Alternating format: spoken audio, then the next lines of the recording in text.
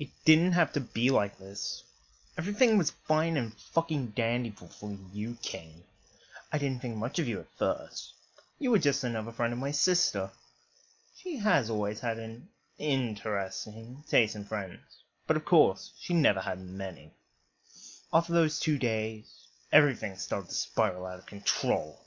Abuse, rape, child abduction and pedophilia, and your name written all over it. All I could do was sit back while my sister fled for her life, while my father, living in another state, sits back and only hears about what is happening. And my mother, the person who has suffered raising my sister and me, growing angrier and more afraid. No one suspects me. I've always been an odd child, but never had a fault like this. Not until now, with you.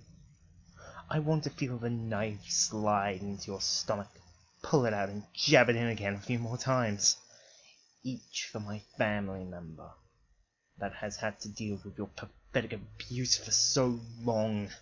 I want to see you fall to the ground and look at your wounds while, while the look in your eyes are full of fear.